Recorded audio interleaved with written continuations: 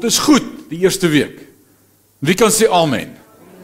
En ons het gesê God is nie goed omdat hy goed doen nie, God doen goed omdat hy goed is. Dis wie hy is in sy die Engels sê essence. Dis wie hy is.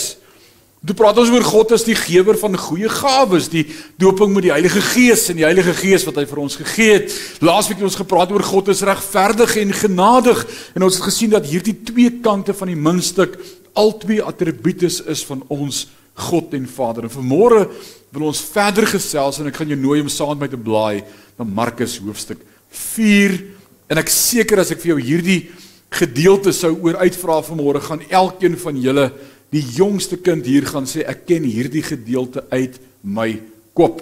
Kom ons kyk of ons vanmôre iets nuuts in hierdie teks kan leer oor wie God is. En dit gaan jou vanmôre so bless. En as jy dit glo sê amen. Daar's daarom 'n paar met geloof. Markus hoofstuk 4 en ons gaan lees vanaf vers 35 tot en met vers 1 en 40. As jy daar is sê amen en dan lees ons saam. Markus 4 vanaf vers 35. Teen die aand sê Jesus vir sy disippels: "Kom ons vaar oor kant toe." Hulle het die skare toe agtergelaat en Jesus wat immers alreeds in die skei sommer net so saamgeneem alhoewel daar ander skeite agterna gekom het. Daar het 'n ewige Waar's hy? Daar's hy. Daar het 'n ewige stormwind opgekom. Groot golwe het in die skei gebreek. Met die gevolg dat dit alreeds vol water begin word het.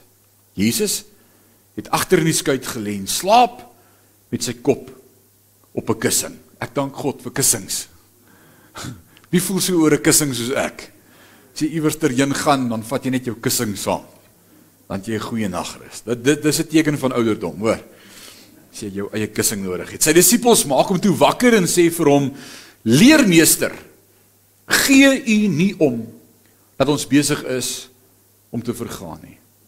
En Jesus het opgestaan, die stormwind ernstig aangespreek en vir die see gesê: "Bedaar, word kalm." En toe die wind gaan lê en daar het 'n groot rustigheid gekom. Hy vra toe vir hulle: "Hoekom is julle so verskrik? Vertrou julle my nog steeds nie?" Hulle was heeltemal oorweldig en vir mekaar gesê: "Wie is hy werklik? Selfs die wind en die see luister na hom. Wie is hy werklik?" En dis die vraag wat ons gaan vanmôre probeer antwoord en daarom is die tema van vanmôre se woord Hy is soewereine Here oor die heelal. Dankie vir daai vier amens. Die ander gaan net nou amen sê as hulle weet wat beteken soewerein. En dis waaroor ek eers vanmôre met jou wil praat om jou te verduidelik wat beteken hierdie woord soewereine Here, want dis wie hy is. En dis hoekom die wind en die golwe hom gehoorsaam, want hy is die soewereine Here van die heelal. So kom ons kyk eers vanmôre na hierdie begrip, die woord soewerein.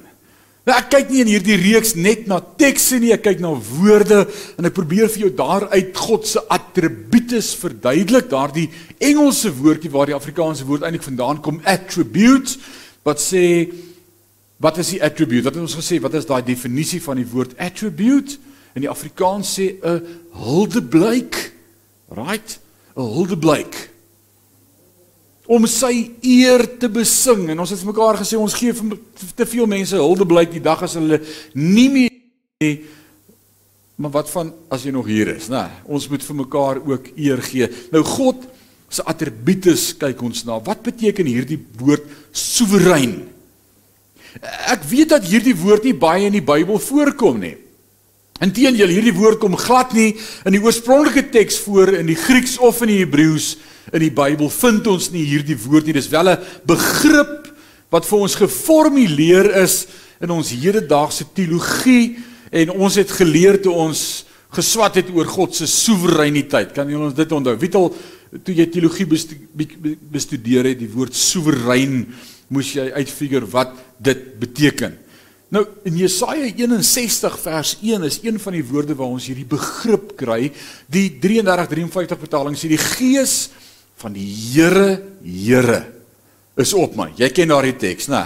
Die gees van die Here Here is op my. Die nuwe lewende vertaling lees as volg. Hy sê die gees van die oppermagtige Here het op my gekom. Die New International Version states is at follow. Hy sê the spirit of the sovereign lord, sovereign lord. Hier kry ons die begrip vir die eerste keer in die Engelse vertaling, die soewereine. The spirit of the sovereign lord is on me. Nou daai woordjie sovereign lord in die Hebreëse teks vind ons as Elohim Jehovah. Elohim Jehovah, die Here Here is op my, die oppermagtige Here of the sovereign Lord. So kom ons kyk na 'n Nuwe Testamentiese teks waar hierdie beginsel vir ons verduidelik word en ons vind dit in 1 Timoteus 6 vers 15 en kyk of jy hierdie woord daar kan raak lees. Want op die bestemde tyd sal God Jesus Christus openbaar. Hy die gesteende en alleenmagtige die koning van die konings en die Here van die Here. Paulus beskryf vir Timoteus en hy sê wie is hierdie God wat geopenbaar gaan word? Nou waar dink jy in daai teks vind ons die woord Elohim Jehovah? Here Here. Dink jy dis geseënde en alleenmagtige? Dis in daardie term sê die koning van die konings en die Here van die Here. Dit beskryf soewerein. Hierdie begrip verstaan ons daai hy's die koning van die konings, hy's die hoogste gesag. Daar is niemand bo hom nie. Hy doen aan niemand verslag nie. Niemand eis rekenskap van hom nie. Hy skuld niemand te antwoord nie. Niemand sê vir hom wat hy moet doen nie. Hy is die hoogste gesag.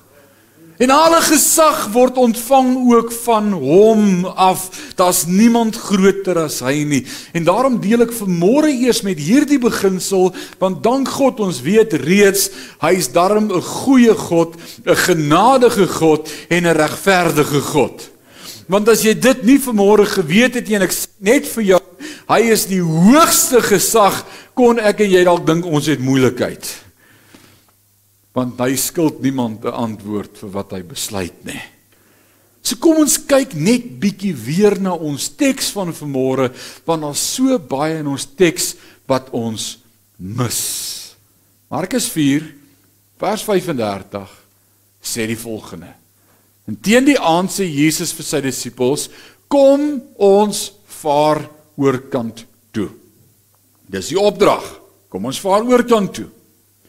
Hulle het die skare toe agtergelaat en Jesus, hy was immers alreeds in die skei sommer net so saamgeneem. Die nuwe lewende vertaling sê sommer net so saamgeneem. Die 3353 vertaling sê en hulle het die skare verlaat en hom net soos hy was saamgeneem in die skei. Wat beteken dit net soos hy was? Of sommer net so? Het jy al daaroor gedink? Nee, ons lees net aan. Maar ons gaan vanmôre vir mekaar hierdie vraag probeer beantwoord. Hoe was Jesus? As hulle hom dan sommer net so saamgevat het. Ons gaan iets vanmôre hier uit leer. Die vraag wat ek wil vra is: Hoe was Jesus? Wel, hoekom is dit vir ons opgeneem in die skrif? Ek dink as daar iets in die Bybel staan met ons vir mekaar vra, hoekom staan dit daar? Dink jy dat dit was net om meer spasie te vat of om net aan te hou skryf? Inteendeel, Ek sou bly ek is nie een van die skrywers gewees vir die Bybel nie want ek dink jou hand het dit nie gehou nie.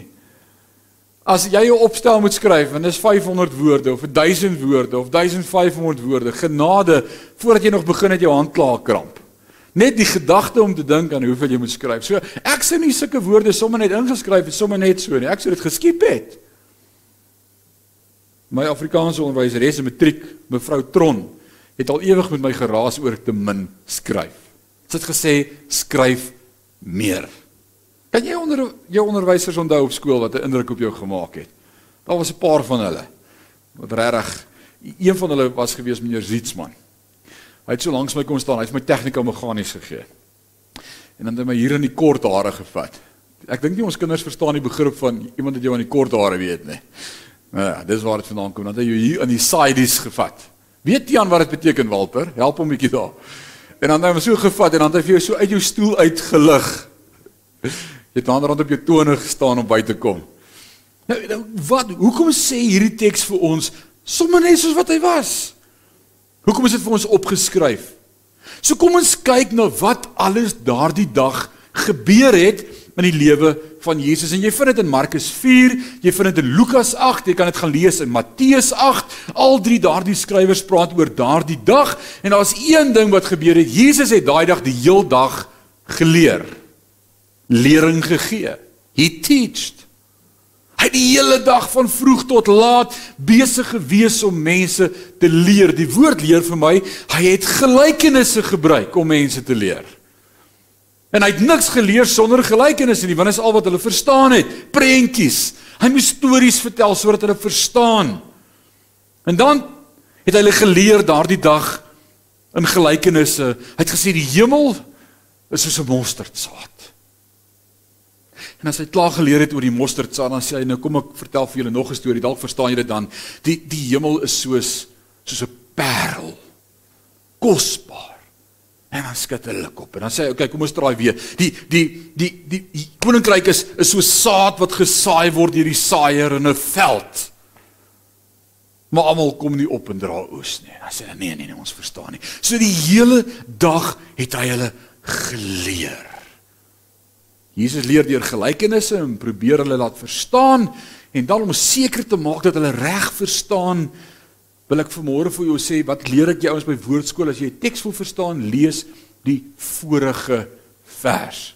Lees net bietjie terug die vorige vers sê gewoonlik vir jou wat verstaan ons En kyk mooi in Markus 4 vers 10 sê later toe Jesus alleen was saam met sy 12 disippels en sy ander mense het hulle hom uitgevra en gesê wat beteken hierdie gelykenisse?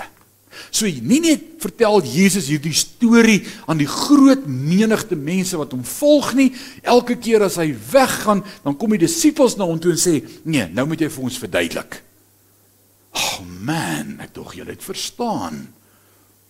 En dan vertel hy vir hulle en hy verduidelik vir hulle en sê Jesus sê vir hulle as julle hierdie nie verstaan het nie, gaan julle die ander nie verstaan nie. Julle het nodig om dit te verstaan. Kyk wat sê in vers 44. 34 33. Hy het Jesus het baie sulke gelykenisse gebruik om die woord aan die mense te bedien volgens wat hulle kon verstaan. Eintlik het hy in sy openbare onderrig net gelykenisse gebruik, maar wanneer hy agterna alleen was saam met sy disippels, het hy alles vir hulle verder verduidelik. So wat het die hele dag gebeur daardie dag? He teached. Hy het die hele dag lering gegee. Hy moes hulle leer. Hy moes vir hulle verduidelik. En dan dink hy hulle verstaan en as hulle alleen is dan kom hulle dan sê hulle nee, nou moet jy eers vir ons alleen verduidelik. So die hele dag het Jesus hulle geleer. Die hele dag het Jesus hulle geleer. Lucian, jy's 'n onderwyser. Het jy een dag 'n week wat jy voldag elke dag periode klas gee? Alraai. Hoe voel jy teen die einde van daai dag? Moet ek jou vrou vra? Hoe voel Lucian aan die einde van daai dag? Ons praat nie daaroor nie. Sy sê net so. As jy die hele dag klas gee en probeer leer en hulle probeer laat fokus en probeer laat verstaan want ek dink dis iemand wat lering gee of onderrig gee se grootste uh, mikpunt of doelwit is dat hulle dit wat jy oordra sal verstaan. Dit sal dom wees om vir 'n halfuur of 42 minute klas te gee en om te draai nie te worry of hulle verstaan het nie. Jesus wil hê hulle moet verstaan. Dis so. Elke selleier, elke pastoor, elke onderwyser, elke ou wat lering gee of klas aanbied, elke fasiliteerder se grootste doelwit is om op so 'n manier oor te kom dat die mense sal verstaan. Ek hoop as ek preek hier in Sion verstaan julle daarom. Dat dit is daarom een amen. Loof die Here daarvoor. Alraai, daarom een een wat verstaan. So so Jesus probeer hulle laat verstaan en ek wil sê dit maak jou moeg. Ek onthou net voor lockdown hier in Sion het ons twee oggenddienste gehad. En toe probeer ons 'n derde Engelse diens. En toe het ons sonnaande woordskool. En op 'n maandagooggend 10:00 het ek 'n vroue bid hier. En as ek maandag by die huis kom, dan's ek op. En dan sê ek vir my vrou, nou's ek moeg. Ek is net klaar. En as jou kind dan nog by jou kom en sê pa, ek het wiskunde, help my, dan is dit soos gaan vra jou ma. Regtig. Dit jy's net op. So so hoe was Jesus teen die einde van daai dag? Moeg. Hy was op. Hy het die hele dag klas gegee, hy het die hele dag geleer, hy het die hele dag vertel, hy het die hele dag gepraat. Sy stem was sekerlik moeg gepraat. Onthou, nie net was hy 100% God nie, maar hy was 100% mens. Hy was vlees. Hebreërs sê hy was in alle opsigte versoek net soos ek en jy en daarom het hy met ons medelee, hy verstaan. Hy het dit ook beleef. So hy's moeg. Hy's honger. Dalk effens geïrriteerd. Ek weet nie. Heeldag gepraat. En dan sê hy vir sy disippels, kan ons nie net in die boot klim en gaan nie. En dan vat hulle hom net soos wat hy is, moeg. Hoe weet ek dis wat daar staan en hoe weet ek ek verstaan die teks reg want die oomblik toe hy in die boot klim toe gaan lê hy met sy kop op die kussing. Hy is moeg. Ou wat nie moeg is nie gaan lê nie met sy kop op die kussing nie. Veral nie agter in 'n boot wat op golf gaan nie. Hy hy gaan gee net oor. En dan lê hy om te slaap. En dan maak hulle hom wakker. Ek kan nie dink heeldag alles verduidelik en, en en nou uiteindelik weer alleen en nou wil hulle hom weer begin vra vra want dis wat hulle die hele tyd doen. So voordat hulle kon begin vra vra gaan slaap by eerder. En dan kom hierdie storm. Hoor wat sê vers 39. En hy het opgestaan en die wind bestraf en vir die see gesê Swyg. Wees stil. Dis die 33:53 vertaling. Die Nuwe Lewende Vertaling sê Jesus het opgestaan, die stormwind ernstig aangespreek en vir die see gesê: "Bedaar, word kalm." Kyk wat sê die Amplified version. And he got up and sternly rebuked the wind and said to the sea, "Hush, be still." Weet jy wat daardie teks beteken? Wat daardie twee woorde vir ons beskryf? Weereens in die Griekse oorspronklike teks is dit net een woord. Maar al die Bybelvertalings gebruik twee woorde om daardie begrip vir ons te verduidelik. Dis eintlik net een Griekse woord wat gebruik word en dis die woordjie MC wat staan daar? Wie weet wat daar staan? Wie's Grieks? Wie het Grieks as vak gehad op skool? Kan jy nou onthou? Daar staan die Griekse woordjie phimos. Kan jy dit nie sien nie? Phimos. Come on, Delena. Jy het 'n bietjie Grieks. Ah ja, nou sien ek dit. Phimos. Alrite, dis Grieks daai. Ek het dit sommer net vir jou ingesit dat jy besef daar's nog baie wat jy moet leer. Alrite. Nou phimos is die werkwoord. Die Griekse woordjie wat daar gebruik word is phimo. Dis die werkwoord en dan ook die selfstandige naamwoord wat daarna afgelei word is die woordjie phimos wat sê om die mond te stop, om iemand se mond toe te maak. Dis wat dit beteken om hom sprakeloos te maak, om sy mond toe te druk. Om tot stilte te verminder. Om jou hand te vat en op iemand se mond te sit en sê bly stil. Alraight. Een Engelse woord vir dit? Dis eintlik twee woorde. Shut up. Wat is eintlik wat Jesus hier vir die see en die storm sê? In Swahili, toe ek op die myn gewerk het, het ek bietjie Swahili geleer en ek onthou hierdie een sinnetjie in besonder, shut your bla bla. Bla bla is regtig die woord vir mond of praat in Swahili. Nou het ek jou Swahili ook nog geleer en Grieks in een brood. Alraight. Hoe kan Jesus vir die storm en die see sê hush? Hoe kry dit reg? Want hy is die soewereine Here oor die heelal. Dis wie hy is. En ek wil vanmôre verder praat oor die attribute want ek wil hê jy moet onthou wie God is. Want dit gaan jou help om elke dag deur te kom. Jy gaan sien hoe hierdie jou gaan help as jy dit gaan verstaan vanmôre. Hy is die opperheerser. Daar's nie iemand bokant hom nie. Hy's die koning van die konings en die Here van die Here. Nou wil ek jou 'n vraag vra. Ek dink dit is belangrik om hierdie stadium in die boodskap jou 'n vraag te vra om jou in te trek in hierdie teks in sodat jy verstaan hoekom dit belangrik is om dit te verstaan. Die vraag wat ek vanmôre vir jou wil vra is as hy die soewereine Here van die heelal is. As hy die Here van die Here en die koning van die konings is. Hoekom het jy bekommernis? Hoekom stres jy? Hoekom twyfel jy? Hoekom wonder jy? Hoekom is daar angs in jou lewe? Hoekom is daar goed waaroor jy wakker lê? Hy's die koning van die konings. Die Here van die Here. Die soewereine God Skepper. Jahwe.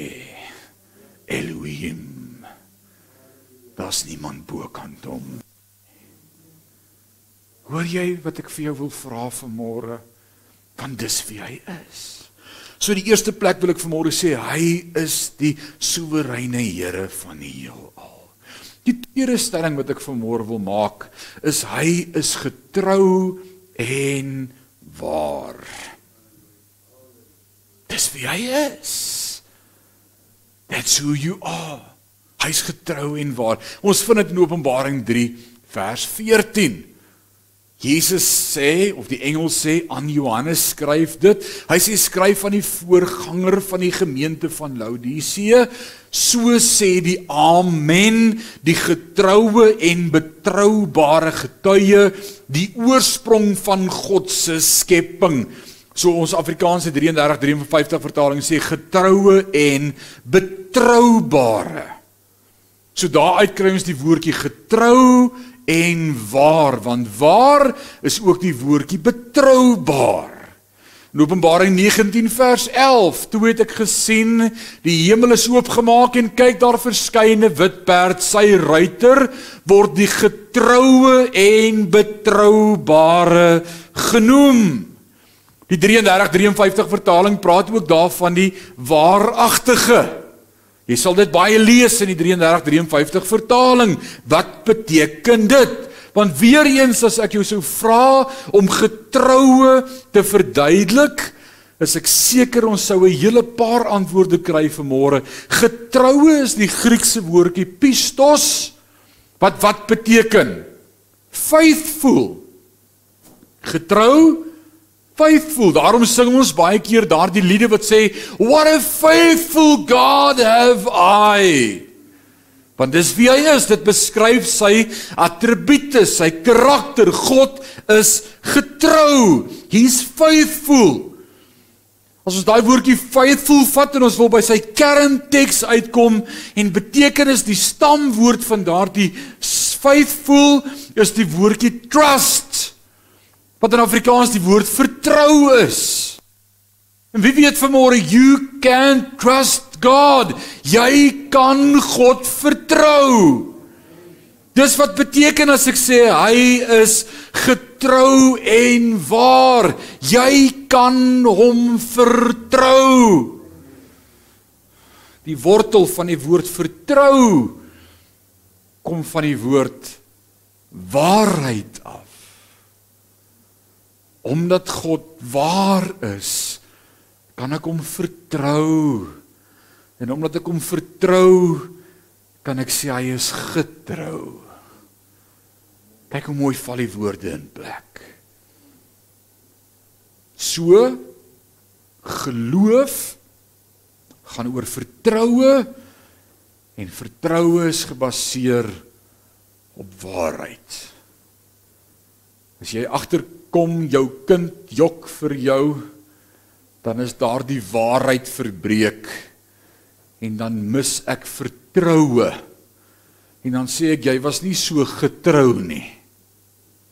Maar omdat God die waarheid spreek en altyd waar is, kan ek glo wat hy sê en kan ek vanmôre die stelling maak ek kan God vertrou. Het God al ooit iets gesê wat hy nie laat waar word nie. In die Ou Testament lees ek daardie gebed wat vir ons opgeteken is wat sê God is nie 'n man dat hy sou lieg nie of 'n mensekind dat dit hom sou berou nie. Sou hy dit sê en dit nie doen nie, sal hy dit spreek en dit nie waar maak nie. Hy is God.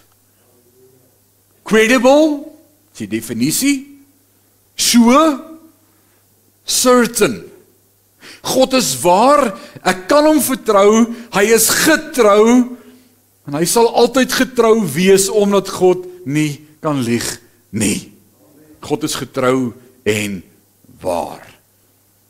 Dit bring my by my derde punt vanmôre. Vertrou ek of is ek bang? Dis waar die tekkie die deur tref vanmôre.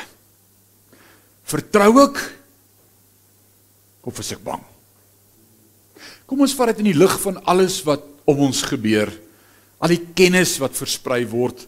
Ek ek moet sê as jy navorsing doen of nagraads of self besig is om jou graad te, te kry, uh, ons het twee studente hier by ons en en hulle is besig om te swat, mag ek Google of Wikipedia aanhaal as 'n bron in enige taak wat ek indien. Nee. Jy kry se muur 0. Want Google en Wikipedia is geen betroubare bron nie. Dis mense se opinies. So as iemand vir my iets stuur en sê, "Kyk wat sê Google,"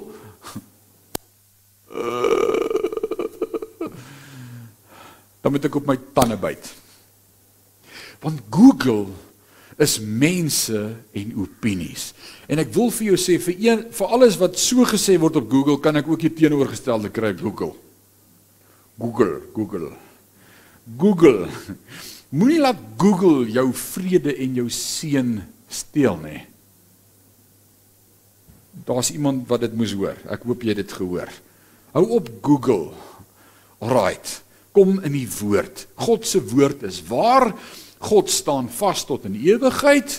Hy's nie 'n man dat hy sou lieg nie en daarom is die vraag vanmôre waarby ek wil hê ons moet deel is vertrou ek of is ek bang? Want as ek bang is, wil ek vanmôre sê dis die teenoorgestelde van vertrou. Hoor wat sê Markus 4 vers 40, want hier kom die vraag wat Jesus dan vir sy disippels vra.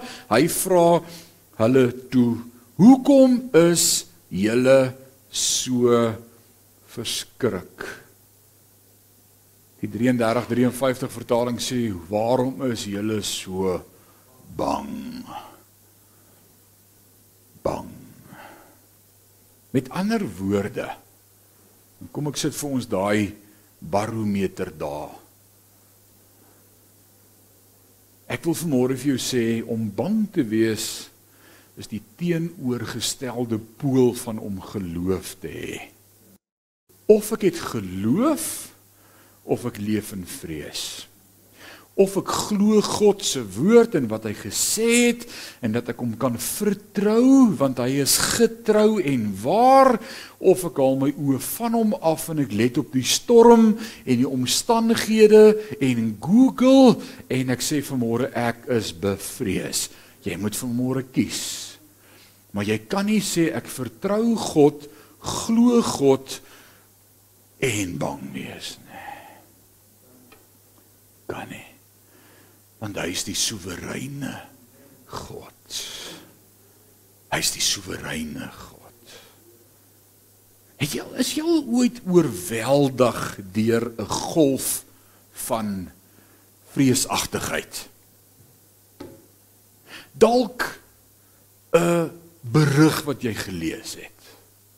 Dalk 'n oproep wat jy kry. Dalk 'n WhatsApp wat iemand vir jou stuur en iets met jou deel. Ek ek ek hoor mense sê toe daar so koue rilling oor my gekom. Ek weet dit, okay, dit gebeur nie met julle nie. Goed. Uh ek het sommer so koud geword van my kop tot my tone.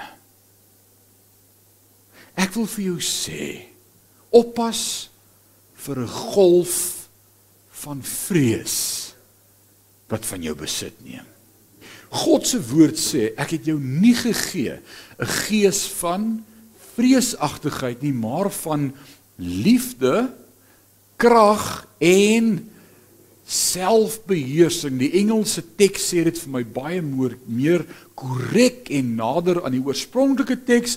Hy sê God has not given us a spirit of fear, but of love and power and a sound mind. En waar lê my en jou oorlog in hierdie dag waarin ons lewe? In my mind. Hier lê vrees hier binne. Hier binne.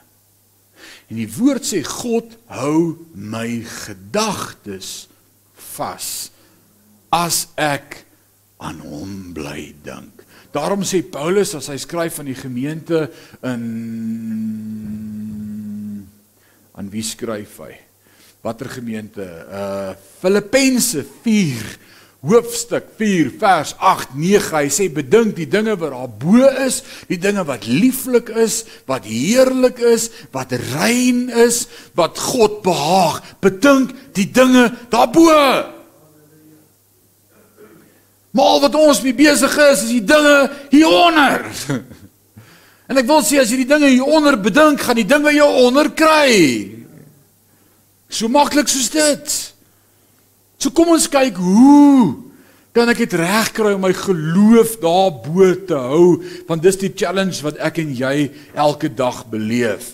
As ons kyk na die geloofshoofstuk in die Bybel, is dit sekerlik Hebreërs hoofstuk 11, die geloofshoofstuk En kyk wat leer ons in Hebreërs 11 vers 11. Leven leven. Hier kom hy. Deur die geloof het Sara selfs ook krag ontvang om bevrug te word en toe sy oor die leeftyd was, het sy gebaar. Omdat, sê saam met my omdat. Nou hier kom hy omdat. Hier hier kom dit wat die verskil maak in my en jou lewe. Omdat sy hom getrou geag het wat dit beloof het.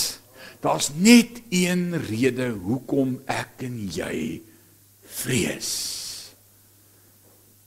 Omdat ons hom nie getrou ag wat vir ons die beloftes gegee het wat in sy woord opgeteken is.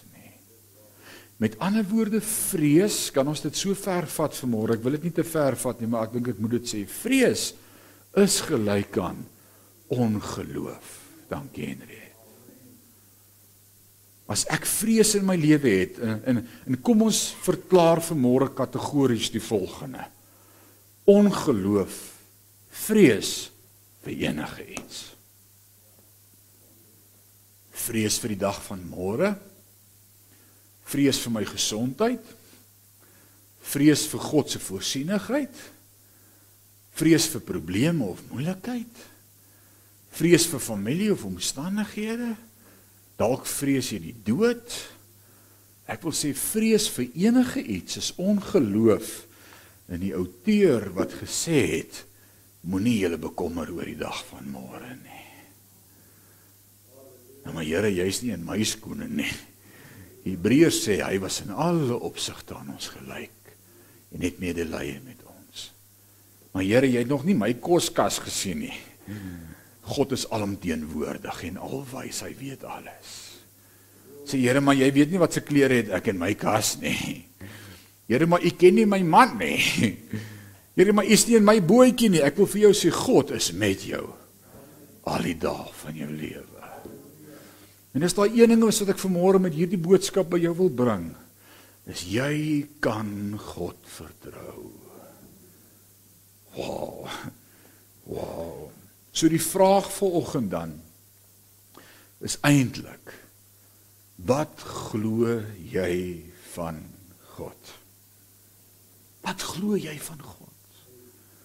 Ja, ek glo hy is God, maar hy het my daarom verstand ook gegee. Jy kan dit probeer regverdig net soos wat jy wil. Die bottom line. Wat glo jy van God? En dis die vraag vir môre. Nou wil ek vir môre vir jou sê, wat was Jesus se opdrag aan sy disippels? Hoor wat sê hy vir hulle? Teen die aand sê Jesus vir sy disippels, kom ons vaar oorkant toe. Hy het nie vir hulle gesê kom ons gaan sink op die see nie. Hy het nie vir hulle gesê let's go for a roller coaster ride. Kom ek wys julle hoe sink ek 'n boot vanaand nie. Sy woorde was kom ek vat julle ander kant toe. As sy disippels het maar net geglo het.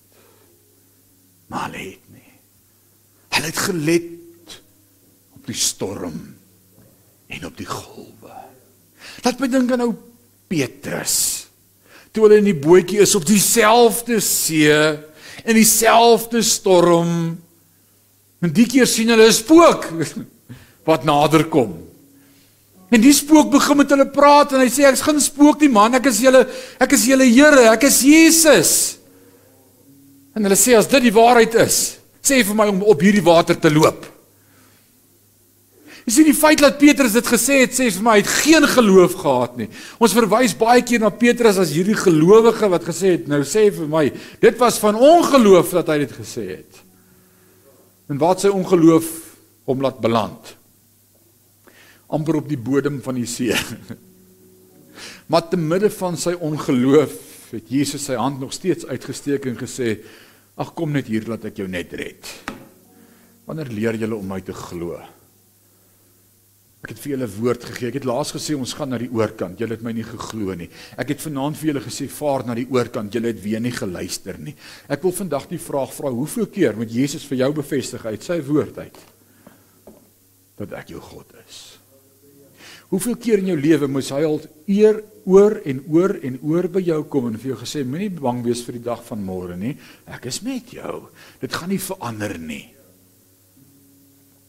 Paar jaar gelede beraad ek 'n paartjie, hulle is al amper 40 jaar getroud gewees en hulle maak by my 'n afspraak vir huweliksberading. Dit was die eerste. Regtig, na 40 jaar soek jy nie meer huweliksberading nie.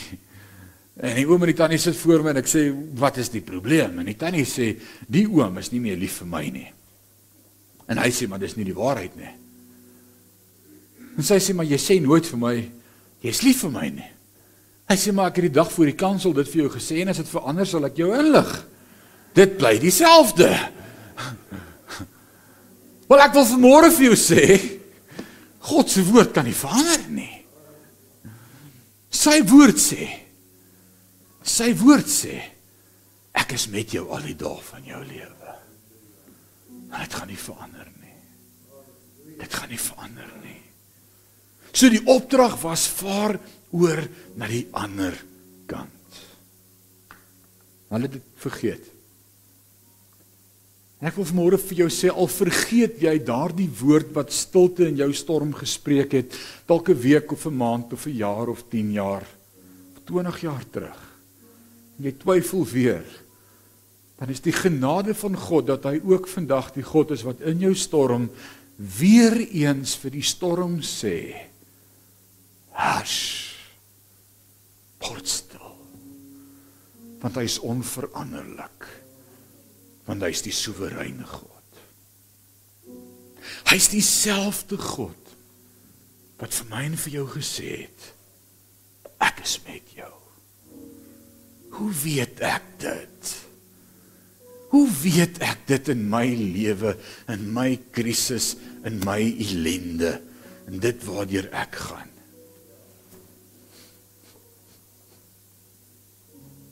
Want so lief het God die wêreld gehad dat hy sy enige gebore seun gegee het sodat jy nie verlore hoef te gaan nie maar dat elkeen wat glo die ewige lewe kan beerwe. Maar hoe weet ek dit? Hy het vir sy disippels daardie aand in die boefretrek gesê: Neem eet. Dis my liggaam. Hierdie is vir jou. En dit gaan nie verander nie. Hy het nie uitgechicken voor die kruis nie. Hy het nie daai aand in Getsemane gebid, ag Here, ek was tot hier toe getrou, maar U sien daar in my hart, U ken my hart, maar ek gaan nie dit kan doen môre nie. Nee, hy het voluit gegaan. En hy het sy lewe gegee vir jou. En ek wil hê jy moet daardie boonste plastiese velletjie aftrek en by jou broodjie kom. En ek wil vir jou sê Paulus skryf dit so mooi in die gemeente in Korinte in 1 Korintiërs 11 as hy vir hulle sê dit deel ek met julle wat ek van hom ontvang het in die nag waarin hy verraai is, het hy brood geneem en hy die brood gebreek en nadat hy dit gebreek het, het hy dit uitgedeel en vir sy disippels gesê: "Neem, eet, hierdie is my liggaam." En dan sê hy so dikwels as wat julle hiervan eet en van hierdie beker drink, verkondig julle die dood En ek wil vandag sê en die opstanding van ons Here Jesus Christus. Hoe weet ek ek gaan deur hierdie storm kom? Hoe weet ek dat hy my gaan vashou in die holte van sy hand? Hoe weet ek dat ek dit gaan maak in sy liggaam wat vir my gebreek is? En sy woord sê so dikwels en ek wil vir jou sê as jy meer dikwels nodig het om te weet, dan moet jy meer dikwels die brood vat en die beker vat en daarvan gebruik. En dalk het dit tyd geword in hierdie tyd dat ons as gesinne meer nagmaal gebruik en ons geloof versterk en mekaar in die oë kyk en sê ek weet want hierdie simbole sê vir my hy gaan nie teruggaan op sy woord nie. Hy kan nie. Dis vas tot in ewigheid. En daarom wil ons vanmôre kom en ons wil vir U dankie sê Jesus dat U U self oorgegee het vir my en vir elkeen van ons wat vanmôre glo dat Jesus Christus die koning van die konings is. My verlosser, my saligmaker, my koning. Die koning van die konings en die Here van die Here, die soewereine God van die heelal. Dat U my vashou in die holte van die hand. Dis wie U is. En as ek vanmôre hierdie broodjie vat en hiervan eet, dan wil ek vanmôre kom en dalk bid soos die hoofman oor 100 wat toe hy met u gepraat het gesê Here kom my ongeloof tegemoet. Ek glo. Maar tog twyfel ons ook. Here, stig my geloof. Bou my geloof op vanmôre deur die dood van die seun Jesus Christus. Ek eer U daarvoor. Kom ons eet saam die brood. Mm.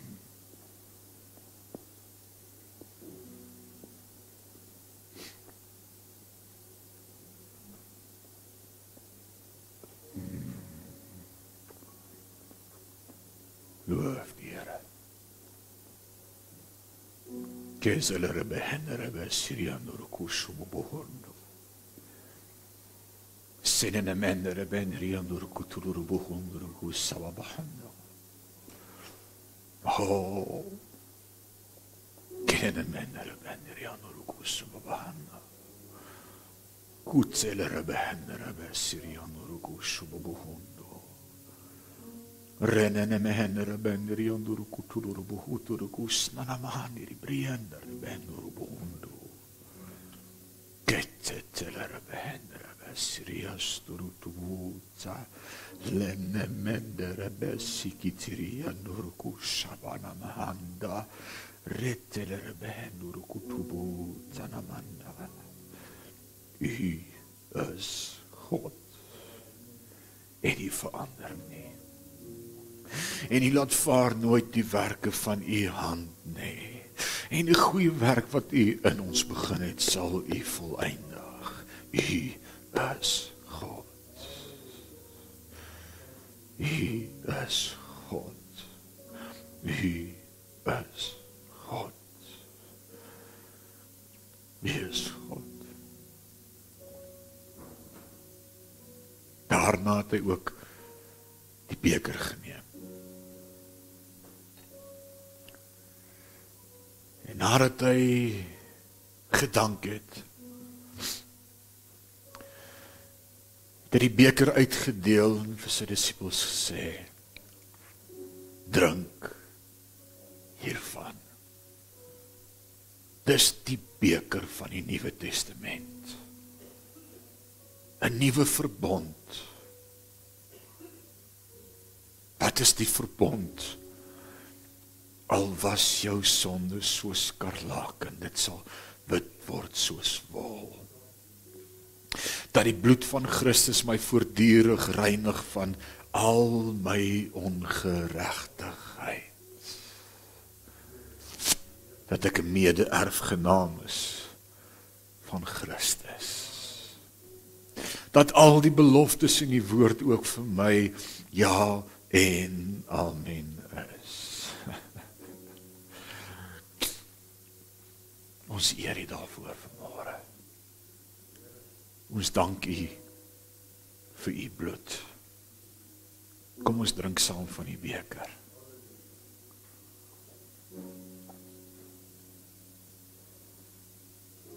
Loof die Here. Gesubhane. U beker sê ook vanmôre vir ons. Deur my wonde is julle genees.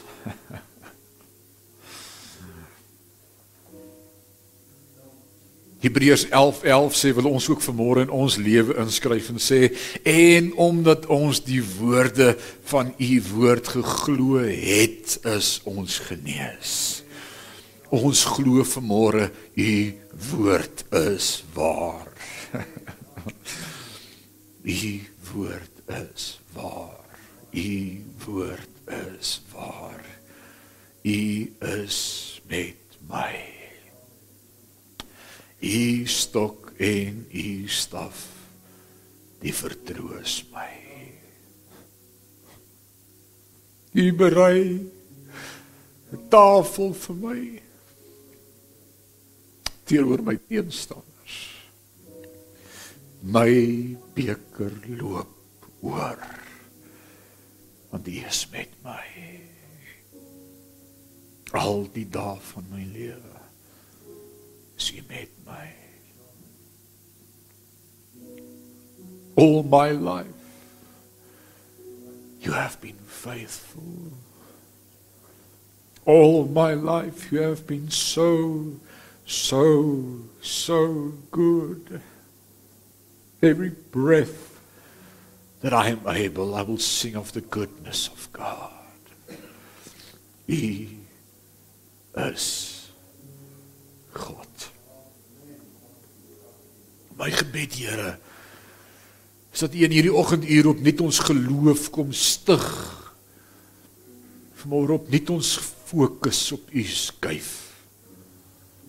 te midde van hierdie ou stormpies en golfies wat ons beleef in die pandemie dat ek vanmôre kan verklaar. U is God. U is God. Wil jy dit saam met my sê vanmôre? U is God. Kom ons sê dit weer saam met my. U is God. Mag jy hom in hierdie week beleef as die God wat by jou is, wat naby jou is, wat in jou is, wat met jou is, wat by jou is. Hy trek voor jou uit en hy maak jou baie gelyk. Dan gaan jy oor deur daardie vallei van doodskade weer, is hy met jou. Hy's by jou. Hy's by jou. Hy's by jou. Mag die Here jou seën in hierdie dag. Amen. Amém.